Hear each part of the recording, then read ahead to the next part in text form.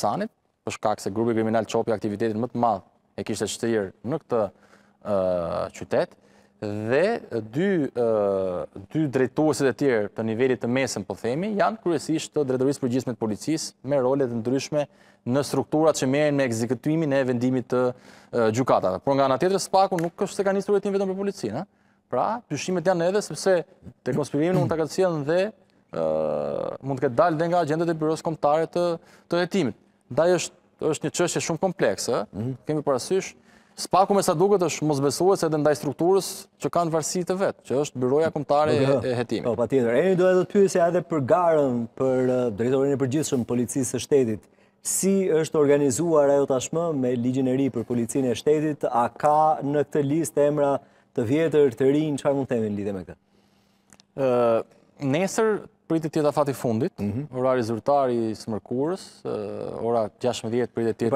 orari i fundit i paraqitjes së kandidaturave të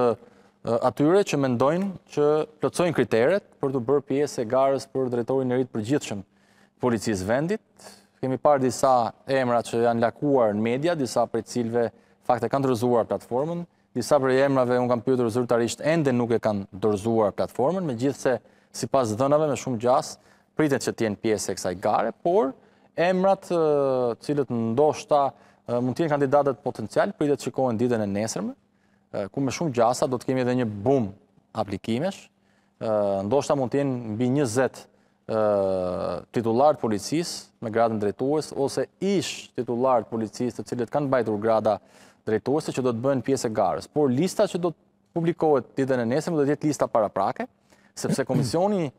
i ngritur me udhëzimin e ministrit të Brendshëm që do të përbëhet nga një zëvendësministër i Brendshëm, sekretari i përgjithshëm i ministrisë dhe drejtori i përgjithshëm i Agjencisë së Mbikëqyrjes Policore, do të bëjnë çekimin e listës për të parë fillimisht se kush përmbush kriteret, sepse mund të ketë nga ata kandidatë të cilët po. kanë dëshirën, kanë vullnetin për t'u bërë pjesë e garës, por që nuk plotësojnë kriteret dhe automatikisht do të skualifikohen menjëherë, më pas do të publikohet lista, mbi bazën e cilës komisioni do të bëjë dhe vlerësimet përkatëse, ku do të vlerësohet platforma që këta kandidatë do të paraqesin dhe një platformë e cila do të lexohet para komisionit, ku të ftuar do të jenë dhe faktori ndërkombëtar, Bashkimi Europian dhe Shtetet e Bashkuara të Amerikës, do të vlerësohet integriteti, vlerësimi i punës që kanë ndër vite, këta kandidatë, reputacioni që ata kanë në organizatë, në shoqëri, e të tjera me radhë, janë një sërë elementesh në fakt në udhëzimin e Ministrit Brendshëm Ervin Hoxha, që do të vlerësohen nga komisioni, deri në përfundim të procesit, që mendohet të jetë fillimi i tetorit, ku komisioni duhet të listojë edhe të pikëzojë të gjithë kandidatët, ku do t'i paraqesë ministrit edhe tre kandidatët më të pikëzuar, ku një nga kandidatët më pas pritet që ministri ta propozojë te kryeministri Rama për emrin e drejtorit të ri të përgjithshëm të policisë. Po- Shpresojmë, unë të paktën, mhm. shpresoj që të jetë një garë e drejtë të vlerësohen profesionistët, të vlerësohen personat të cilët realisht kanë merita në policinë e shtetit dhe mbi të gjitha të jetë një garë e cila të mos ndikohet nga faktorë të jashtëm. Sa e ke këtë merak? Po, nuk është puna që, domethënë, e kam merak, sepse patjetër që lakohen Shumë emra lakohen, shumë personazhe që mund të ndikojnë tek komisioni i ngritur tashmë me udhëzimin e ministrit të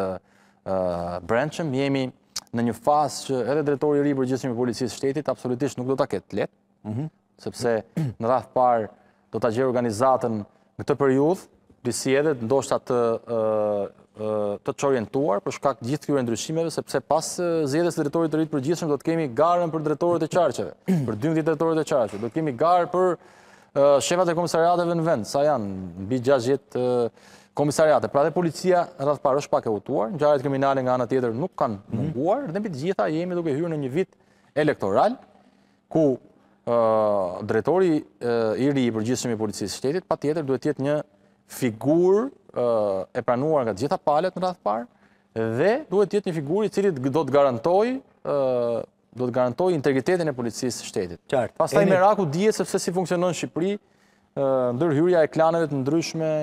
e personazheve të ndryshëm që mund të kenë ndikim në këtë zgjedhje, shpresojmë që gara të jetë e drejtë dhe të vlerësohet profesionisti më i mirë. Reformimi i policisë së shtetit, brenda këtij viti? Shiko, është bërë paksa shabllon kjo reformimi i policisë, çdo ministër i ri që vjen, premton një reformim të policisë, dhe policia duket sikur është gjithë kohën në këtë fazën e tranzicionit për një reformim më të mirë. Doni reformim realisht të policisë, rrisni pagat e punonjësve të policisë. Rrisni paga dinjitoze, jo, jo rritje qesharake. Jepini punonjësit të policisë vendin që i takon në, në shoqëri, duke e mbështetur me nisma të tjera ligjore, vendosni meritokracinë në radhët e organizatës së policisë, mos ndërhyni në punët e policisë. Kjo është reforma më e mirë që besoj mund t'i bëhet organizatës së policisë, sesa